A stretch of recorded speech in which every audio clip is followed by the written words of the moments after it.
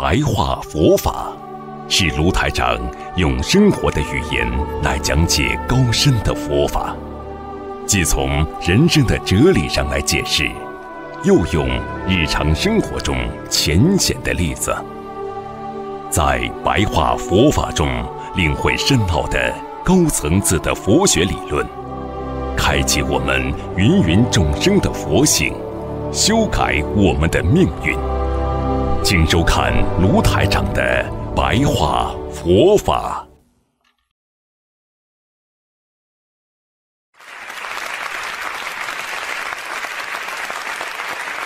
如果你能清净无碍，你进一步修善，因为人的善心是非常重要，经常的修善而不执着于善。我今天做善事了，哎呀，哎呀，我今天做善事了，不要去执着。善良的人当然做出来善良的事情了，恶人当然做出来恶人的事情了。精进无为呀，精进无为，无所住心啊，当下即得自在解脱呀。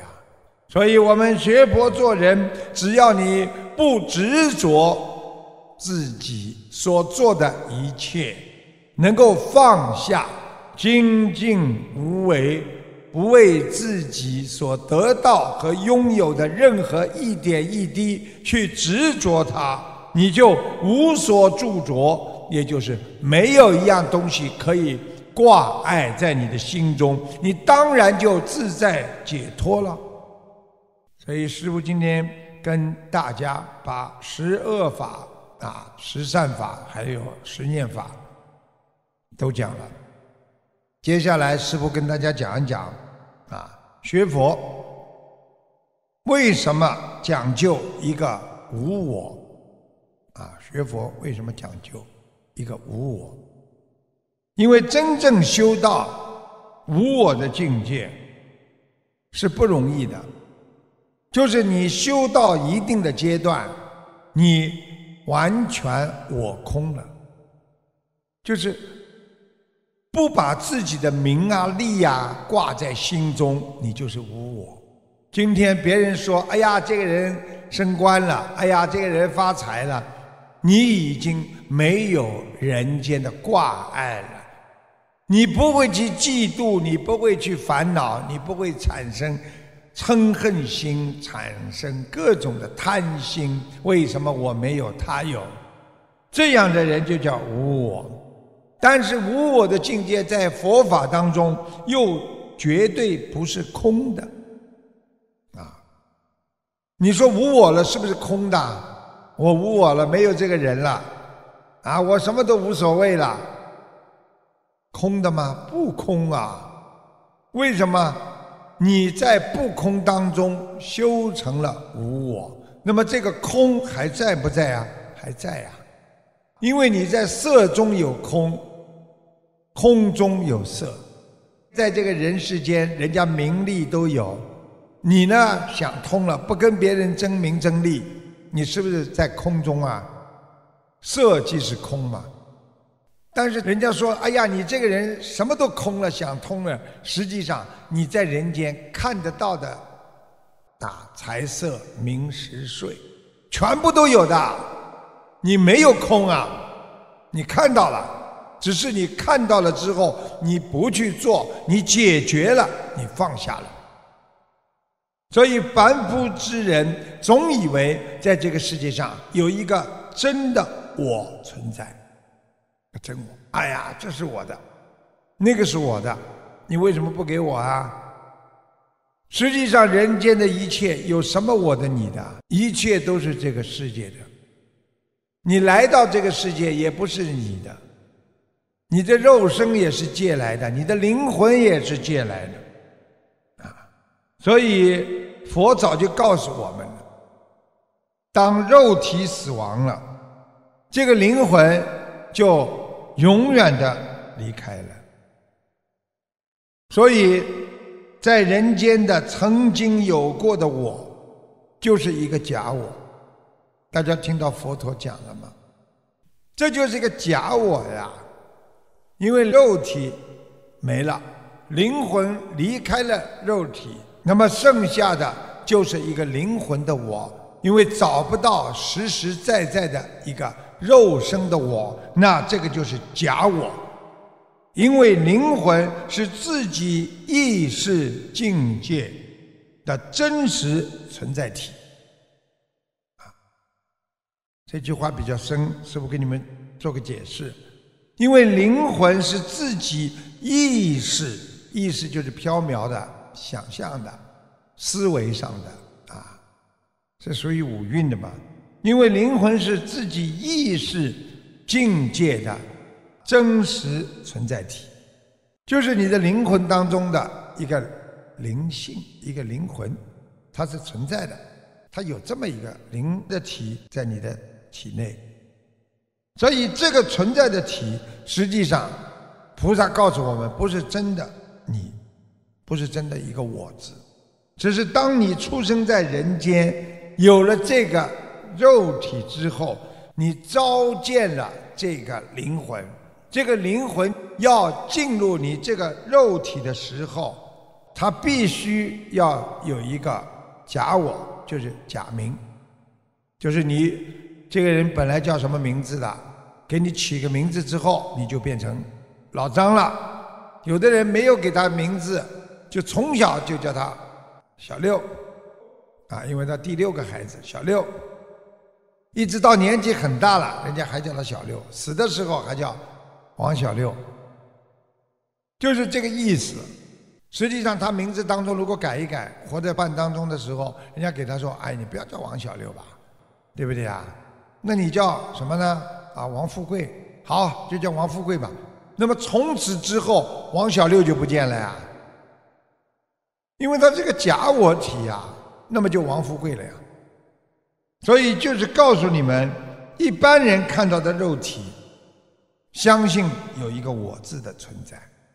你们一般的看到这个人，马上就想起来，哦，我认识他，他是我的朋友，他叫王某某。张某某、李某某，实际上你的境界已经出偏差了，因为你看到的是一个假我呀。如果菩萨看到的，比方说你这个人骂你，你就知道这是一个假我，连我自己都找不到我是谁。他骂我的人、讲我的人，他是一个假的。那么很多人为什么要面子呢？因为他把自己当成是个真我呀。哎呀，我丢脸呐！哎呀，我没面子了！哎呀，人家怎么看我了？哎呀，我以后在这个地方上班，我不丢脸呐！这个“我”字存在你这个肉身当中，对不对呀？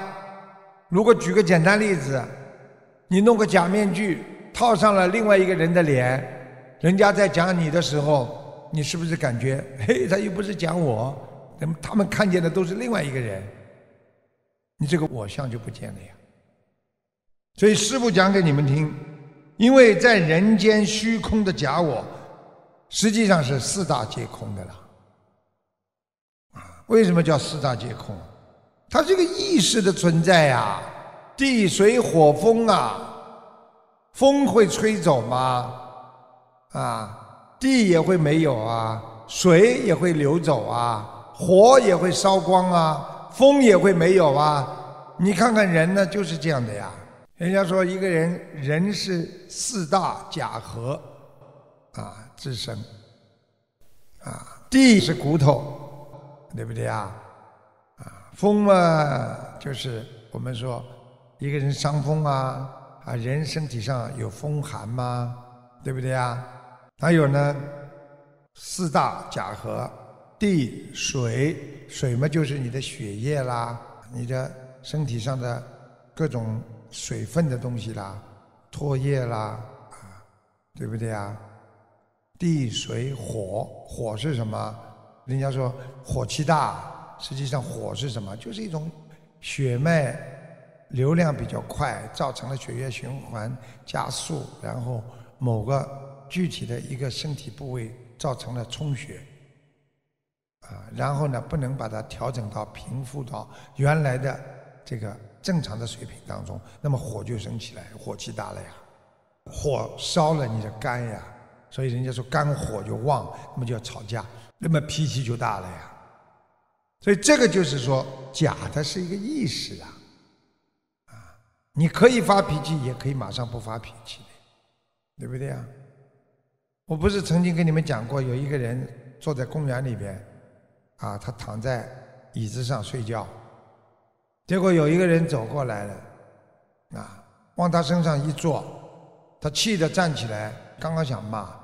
一看，对方是个瞎子，他马上就火气就下去。那么为什么刚刚的几秒钟之前还要有火气？那么几秒钟之后就没火气了？因为他知道这是假的，人家不是真心的，不是有意的来坐在我身上。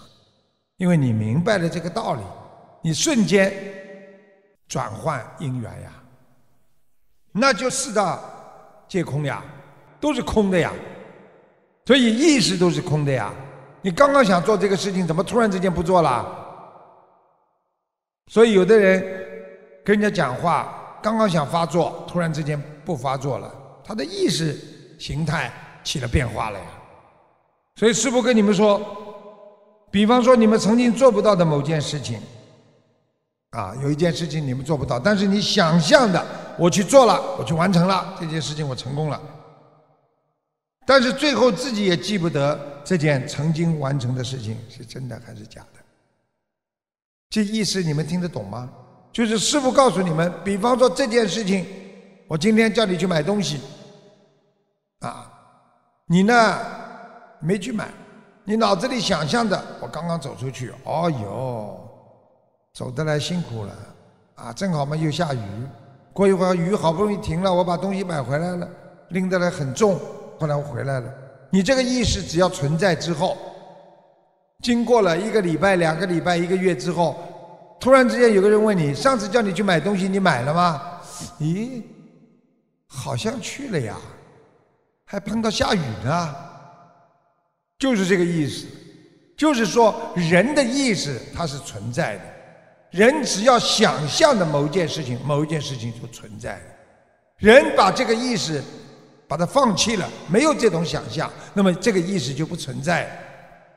啊，你想象的别人会笑你，你会脸红、脖子粗，跟人家争、跟人家闹。等到你想象的别人没那么看重你，你是谁呀？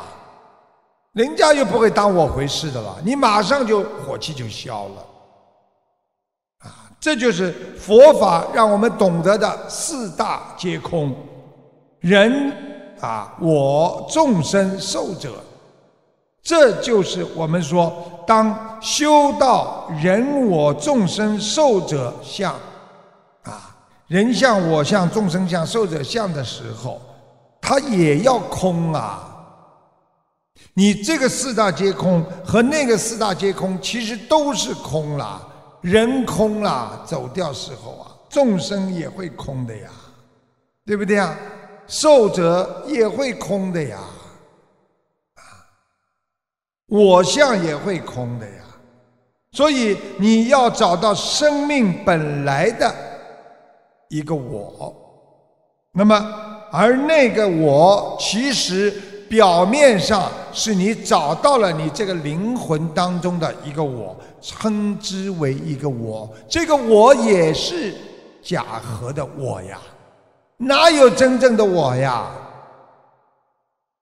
因为师父曾经跟你们讲过了，如果一个人造孽很深，判到地狱里去，魂魄把他打散之后，这个我就没了，从此以后就没这个我了。所以任何人不要认为这个世界上有一个真正的我。所以我们在九世田中的意识，那才是。佛性是你真正的灵魂，都不能说是一个我，啊，是你的灵魂。那么你称它在九世田中的本性佛性，称它什么都可以，只是一个名称称它。你称它什么也不对，它都是一个没有名称的一个这个真正的意识啊灵体。所以我们讲了，《金刚经》曾经讲过，啊，须菩提，凡夫者，如来说即非凡夫，是名凡夫。这句话什么意思啊？啊，佛陀告诉他的弟子须菩提说：“凡夫者呀，啊，如来说即非凡夫，就是佛说了，你这个人是凡夫了，其实你也并不是凡夫，只是名称说你是凡夫。那么举个简单例子，我说你这个人，哎呦，整天的懒惰啊。”这个懒惰是名懒惰，不是你真正的懒惰，因为你以后不懒惰了，这个名称就没了。听懂吗？只是个名称是你懒惰，所以佛为什么要说既是凡夫又不是凡夫呢？是名称上称为凡夫，是名称上说你小懒胖子、小懒鬼。等到你长大了，你非常的勤奋，你这个懒胖子和小懒鬼还有吗？曾经称过的是名懒鬼！所以实际上，凡夫经过学佛修心，可以变成非凡夫啊！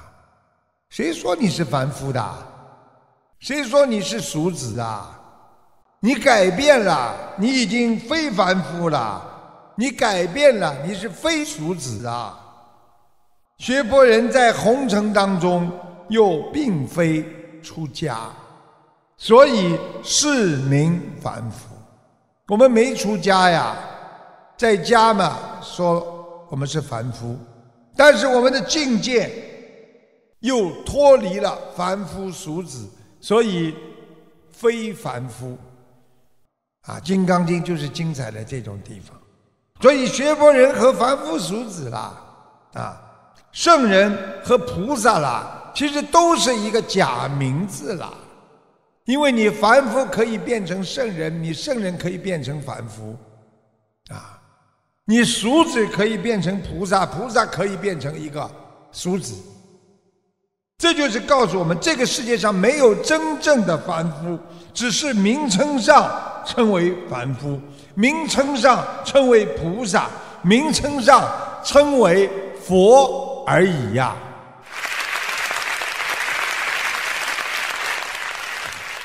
所以，一个凡夫找到了自己的本性，即非凡夫啊！你找到了本性了，你还是凡夫吗？一个孩子很懒，从此以后知道不能懒。要好好的努力，他已经不是一个啊懒胖子了啊！一个居士能够拥有佛性，他就是佛，他既非凡夫俗子！所以众生平等啊！师父把禅宗那些经典的语言告诉大家，所以众生平等，禅宗认为啊，禅文化那是一个智慧。心佛众生三无差别啊！你的心还有佛还有众生都没有差别。心是什么？心那就是开悟了，它就是佛。心就是佛，所以心佛那是一起的，叫心佛合一。既然此心即是佛。啊，你的心既然是佛，如果你没有悟道，佛还没悟道，就是凡夫。所以就和众生一样，因为你凡夫就和众生一样，所以三无差别。